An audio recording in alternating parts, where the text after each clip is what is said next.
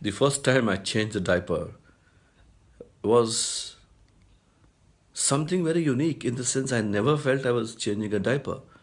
It was like at that moment she was crying and her mom was sleeping and I need I knew that she needed a help and I knew that I had to change the diaper and maybe I didn't do a good job which she can never tell me because she will never remember that.